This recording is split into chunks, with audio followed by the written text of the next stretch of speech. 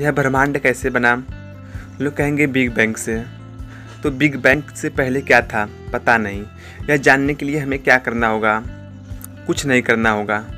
क्योंकि हमें खुद मालूम हो जाएगा। मलूक, ऐसा क्यों होगा?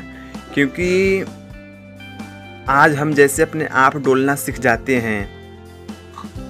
वैसे ही लाखों सालों बाद हमें अपने आप ही मालूम हो जाएगा कि यूनिवर्स और बिग बैंग में के से पहले क्या हुआ था कि यूनिवर्स बना?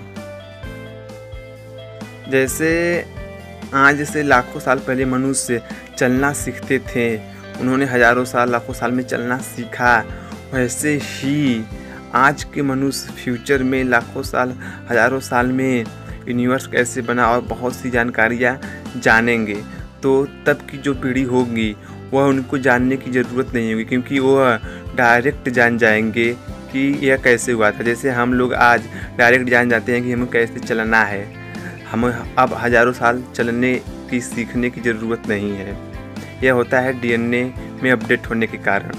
ऐसा मेरा सोचना है। अगर किसी और को पता है, कुछ तो भी बताए।